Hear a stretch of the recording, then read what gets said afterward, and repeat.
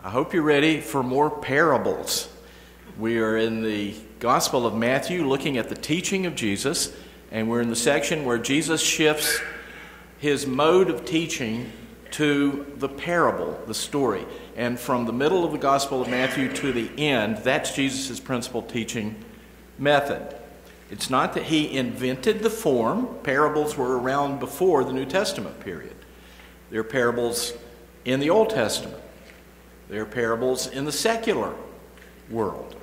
Uh, the boy who cried wolf is a secular parable. Uh, it's not meant to have a religious meaning, but it still conveys truth through that story form. Uh, some texts would say uh, the tortoise and the hare is an example, but tortoise and the hare is really a fable.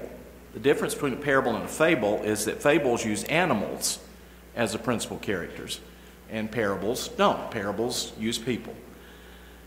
But there were parables in the secular world. There are parables in the Old Testament. Remember when Nathan came to David after his great sin with Bathsheba? And Nathan said, I have a story for you about a man who was wealthy, but when friends came to call and he had to serve a nice dinner, he stole the only lamb from a poor man. And David was furious until Nathan said, You're the man. It's a parable. Uh, Jesus didn't invent the parable, but he perfected it. And he brought it to its uh, full potential as a teaching tool in the New Testament. Of the 40 or so full parables of Jesus, we're not counting now the word pictures like you're the salt of the earth, you're the light of the world but of the 40 full parables of Jesus, 20 of them are in Matthew. And several of them are in this chapter where we are today, Matthew chapter 13. We've covered two parables so far. We won't cover all 40. Uh, we don't have time for that. You can catch that in your personal Bible study. But um, we've covered the parable of the two houses, one built on sand, one built on the rock, that was in the Sermon on the Mount. And then last week we covered the parable of the sower and the seed uh, that Jesus introduces here in the first part of Matthew chapter 13. Picking up where we left off there, we notice right away that Jesus, in telling the parables that follow, introduces them with a new phrase. And the new phrase is the kingdom of heaven is like.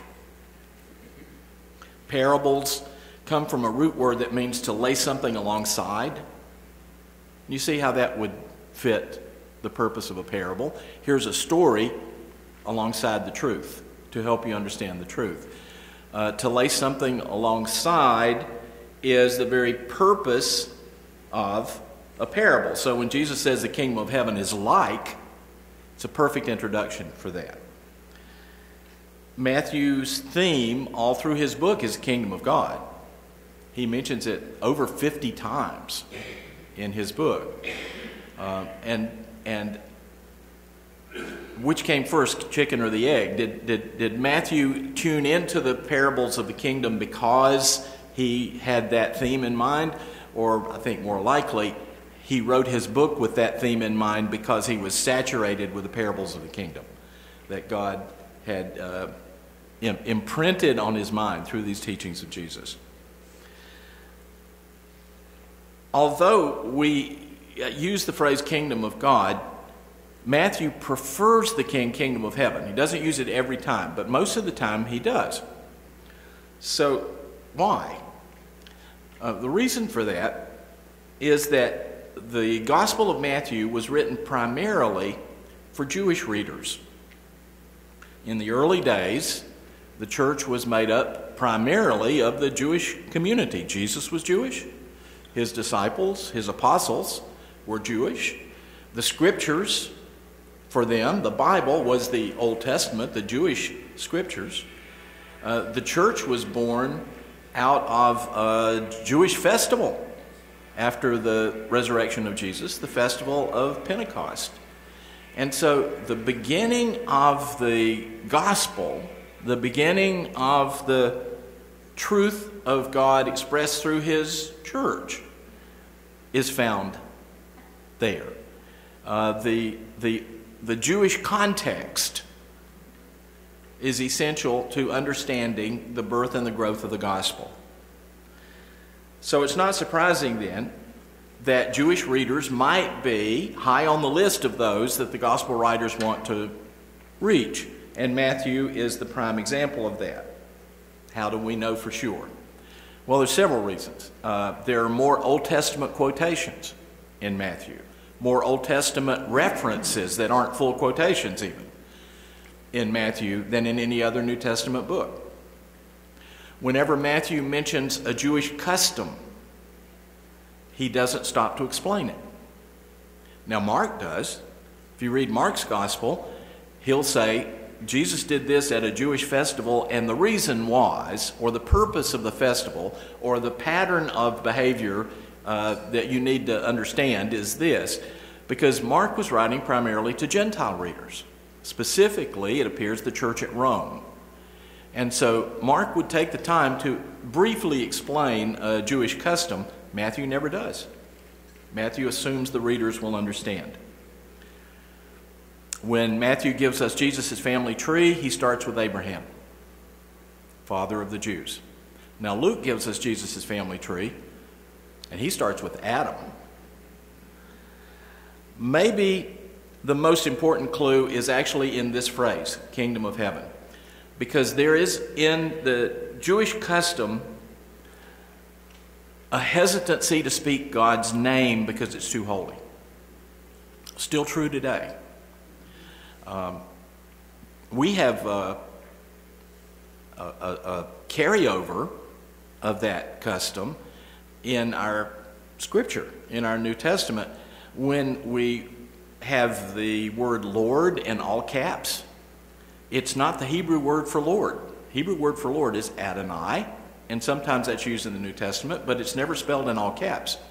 When Lord is in all caps, it's Yahweh. It's God's name.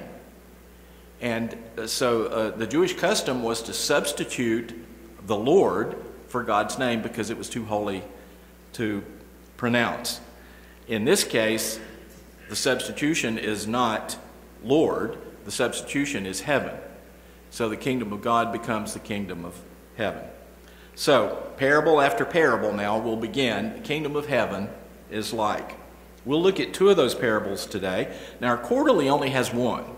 Quarterly has the parable of the wheat and the weeds. But later in chapter 13, there is a parallel parable. There's a parable that tells this that has the same point to it. And that's the parable of the net. Um, it's actually at the end of the chapter.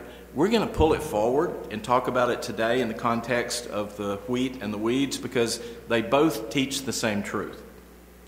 Let's start with the wheat and the weeds. Uh, if you have your quarterly, Matthew 13 24 is our first verse. You can follow in your scripture if you don't. Jesus told them another parable. The kingdom of heaven is like a man who sowed good seed in his field. This follows hard on the heels of the parable of the sower that we looked at last Sunday. Parable of the sower is about different soils. This parable is about different seeds, and in fact, about different sowers. Matthew 13 project that Alive offers to new converts is based on the parable of the sower.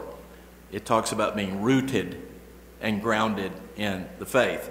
Well, Jesus now is moving just a half step from that and is giving us another parable, another word lesson about a farmer and his seed. But this one's a very different lesson. So, the kingdom of heaven is like a man who sowed good seed in his field, but while everyone was sleeping, his enemy came and sowed weeds among the wheat and went away. In the King James Version, these weeds are called tares, T A R E S. You may be familiar with the, the phrase, and the parable is sometimes called the parable of the wheat and the tares. Ben Witherington, great teacher at Asbury Seminary, likes to say, This is a terrible parable. and you thought my jokes were bad. Historians have discovered that the Jews actually had, uh, uh, not the Jews, the Romans, actually had a law against this very thing, against sowing bad seed in someone else's field, which just reinforces for us that this was really a thing. Jesus wasn't using a hypothetical. This is a real problem in that day, and he uses it to make a point. Uh, sowing any kind of weeds would be a mean prank to play. But this one goes much deeper than that because these tares, uh, agriculturalists today call them bearded darnel. That's the phrase for the modern, modern phrase for the plant, are actually poisonous. And so if they are mixed with the wheat, there's a real danger involved there. This, this was a really wicked act by the enemy. Verse 26 When the wheat sprouted and formed heads, then the weeds also appeared. The owner's servants came to him and said, Sir, didn't you sow good seed in your field? Where then did the weeds come from? An enemy did this, he replied. Jesus later identifies the enemy. And remember, this is an early parable of Jesus. His disciples are still asking, now, walk us through that again, unpack that for us. And so he does. He'll stop doing that soon, and most of the rest of his parables are without explanation. But when he gives them the explanation for this one, he says the enemy's the devil. The devil's work, though, is not the focus of the parable. The parable is not about how evil the devil is. The focus of the parable is about God's timetable for dealing with it. The devout in Israel had no problem believing in a kingdom of heaven. They had no problem believing in a Messiah who would introduce the kingdom of heaven. They were prepared for that by the Old Testament the way God had laid the foundation. Or how about this? God had sown the seed in the Old Testament, and they recognized it, and they were aware of it, and they were looking for Messiah. And then Jesus came. And John the Baptist said, Here's the Messiah. And Jesus' miracles gave credence to that and supported that claim. So, if Messiah has been promised and Messiah is now here and the kingdom of heaven is at hand, meaning present, observable, why is there still evil in the world? That's what they were wondering. Shouldn't evil be gone now? Shouldn't God, isn't this the way God was going to take care of the devil's work in the world? The Romans are still here. They haven't packed up and left. The Herods are still here, figurehead rulers under the Romans with the same genes as Herod the Great. John the Baptist, in fact, is at jail in jail at this time because he's preached against one of the Herods, Herod Antipas, who married his niece after stealing her away from, are you ready for this? His brother, who had married that niece of both of them previously. And if you remember the story, Herod Antipas then begins to lust after his great niece when she does a dance of the seven veils kind of thing uh, at the time of, of John the Baptist's execution and said, This is what this is what I want in return for pleasing you. I want the head of John the Baptist on a plate. Those are the Herods. They're still here. They're not even Jewish. They're Edomites or Idumeans. If, if Messiah is here to set things right, why are the Herods still here? There are still unjust judges on the benches. There's still unscrupulous merchants in the stores. Sin is apparent all around. And yet you say the kingdom of heaven is at hand. How could that be? The The problem was in their theology. They believed Messiah's coming would set everything right. Messiah would be the righteous judge. He will judge evil. He will reward faithfulness. And because they were the faithful, rewards would come their way. And that's why on Palm Sunday, when Jesus entered the city, they shouted, Hosanna. Here he comes. He's coming in, and Rome's going out. And when on Friday, it was a Roman governor who said, I wonder what I should do with this Jewish Messiah. They said, Crucify him. He obviously isn't the one we're waiting for if he's now a victim of Roman rule just like we are. What they fail to understand is that, as theologians say today, the kingdom of heaven is both already and not yet. It has begun, it's not complete. Jesus has two comings associated with the kingdom of heaven, not just one. And the first coming is to save, the second is to judge. Think about it. If Jesus had come as judge the first time, we'd all be lost because there'd be no Calvary. But he came to save first. And then when he returns, he'll come to judge. Picking up our reading in the middle of, of verse 28, let's go back to the parable. The servants ask him, the owner of the field, Do you want us to go and pull up the weeds? No, he answered, because while you're pulling the weeds, you may uproot the wheat with them. Now, this, this makes this uh, evil trick even more insidious because uh, darnel and wheat look similar in their growing stages. It'd be hard to separate them, it would be hard to distinguish between them.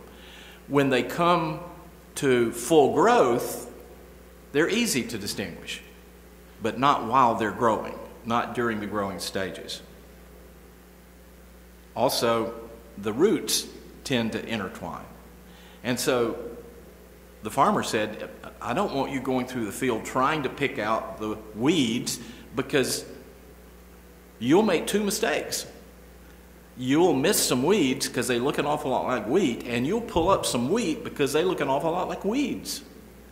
So wait until the harvest. Next verse. Let both grow together until the harvest. At that time I will tell the harvesters first collect the weeds and tie them in bundles to be burned, and then gather the wheat and bring it into my barn.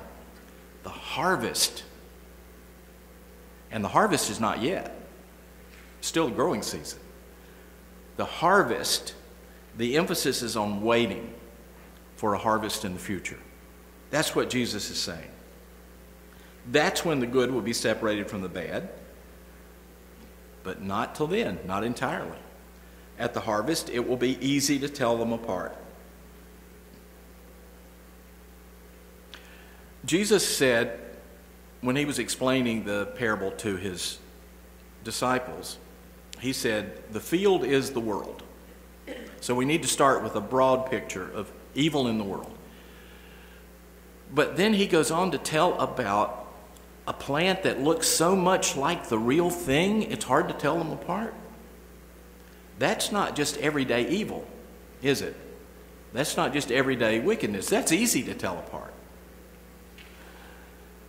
This is a message not just for the world, it's a message for the church. Because the church is the place where sometimes there is uh, the wearing of masks, there's pretense, there's impersonation, there's, there's pretending to be something that we aren't. The, uh, the world doesn't. I mean, the world may do that, but they don't, they're not imitating Christ, they're imitating other things. They're not imitating Christians, they're imitating other things. And it's, it's in the church that it may be difficult to tell who really belongs to God and who really doesn't. I mean, even the 12 had a traitor among them. So you know there's no such thing as a perfect church.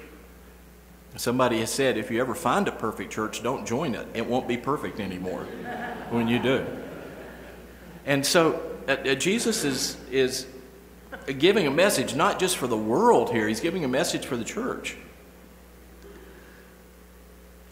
I'm very glad it's not my job. I'm very glad it's not your job to figure out who really is or who really isn't God's in the church or the world.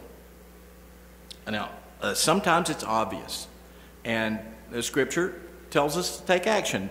Like uh, Paul in 1 Corinthians says, this man who's living in open sin with his stepmother, that's not good for the church and it's not good for him. You need to wake him up with church discipline. You need to call his hand so that then perhaps he'll be alert to and aware of and open to the moving of the Spirit and repent. Uh, so it's, it's not that the, the Bible says, well, just if anybody claims it, then you have to treat them as if that's sincere. There are some cases where it's obviously not. But that's very different from setting ourselves up as a tribunal, as anointing ourselves as judges to try to figure out who is and who isn't God's. We'll do the same thing the farmhands would have done. We'll miss some who are really good fakers, and we're liable to uproot some real wheat because it doesn't look the way we think it ought to look. People are so different. People express their faith in such different ways. People are at such different levels of spiritual maturity. We can't read their hearts, but God can. And you've heard me tell a story before, but uh, C.S. Lewis was walking out of church with a friend one day, and the friend said, That grumpy old woman we just met, surely she's not a believer. And Lewis said, Oh, yes, she is. You should have seen her before. God knows. God knows. We don't. I'm happy to leave the sorting to Him. One of the ways that the church is described in theology is the church visible and the church invisible. And what's meant by that? Well, the church visible is all of those who identify as Christians, all of those who say, I am a believer. Do you know that's about one third of the world's population? About one third of the world's population identifies as Christian. That's the church visible. You can see their names on the roll. You can see their faces when they come to church. What about the church invisible? Those are the ones God knows. Those are the ones who are real. And you and I can't see that heart, but He does. So the bottom line is wait till the harvest. At Judgment Day, it'll be clear. And Jesus, to make that point even stronger, tells a second parable later in the chapter with the same point. It's the parable of the net or the dragnet. It's actually a part of next Sunday's lesson. I'm stealing it out of the text for next Sunday's lesson to look at it early because it reinforces this message, the message of the wheat and the weeds. Uh, Matthew 13 47. Once again, the kingdom of heaven is like a net that was let down into the lake and caught all kinds of fish. When it was full, the fishermen pulled it up on the shore. And then they sat down and collected the good fish into baskets, threw the bad away. The um, Jewish kosher code allowed some kinds of fish on their diet, but not all kinds of seafood. Uh, this is how it will be at the end of the age a dragnet. Now, for some of us of a certain age, Dragnet suggests one of the great TV police dramas of all time, right? Joe Friday and Just the Facts, Ma'am, that kind of thing. But originally, dragnet comes from the vocabulary of fishermen. And some of you have perhaps fished this way. But a boat will pull a net behind it through the water. Sometimes the net's called a seine. And collect all the fish that it can, bring it up onto the dock, and there it's sorted out. There's where you sort out the fish you're going to keep from the ones you're not. And there's where you throw the old shoes and the plastic trash and everything else somewhere else, not back in the lake, I hope. Uh, but that, that sorting doesn't happen in the water. That sorting happens on the dock. Nobody's going to jump in the water and try to shoo the bad fish away and let the good fish come into the net. You don't do that. Again, you wait until the harvest, in this case, the harvest of fish. And then it's easy to tell them apart when the net's brought up on the dock.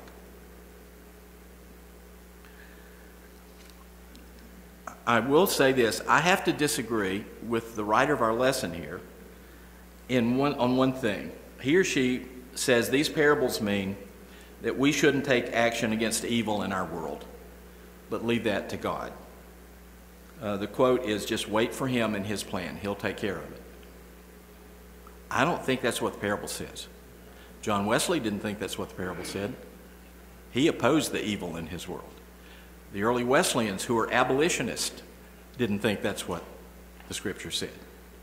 They opposed the evil in their world because they were representing Christ. This is not about evil in general. This, these, this is about people. It's about judging people. We ought to fight evil when we can. It's just that we aren't a judge of individuals' relationship with God. Only He sees that heart. And so, here in Matthew 13, we have a pair of parables. A pair of parables? Huh? If, if, if that's pretty bad, I know. If Witherington can do it, I can do it too. This is a pair of parables. And Jesus liked to do that. He'll, he'll, we'll see him continue to do that. He gives us a pair of parables on the value of the kingdom because we'll be looking at um, the treasure hidden in a field and the pearl of great price. They're both about how valuable the kingdom of God is. He gives us a pair of parables about small uh, uh, things that begin small and grow great, like um, a mustard seed and the yeast in the bread. That's a pair of parables. He gives us a pair of parables in Luke about persistence in prayer. Uh, the friend who comes at midnight and wakes up a friend and says, Please help me, and bugs him until he does. Uh, and the parable of the unjust judge who finally gives the widow a righteous verdict because she won't stop asking. Even more emphatically, Luke records three parables on lostness, right? The lost sheep, the lost coin, and the lost son, or we would say the prodigal son powerful repetition. Now, the repetition is not in the story, the stories are all different. The repetition is in the point that the stories make. And Jesus reinforces that each time. It's the work of a master teacher because it's the work of the master. Let's pray together.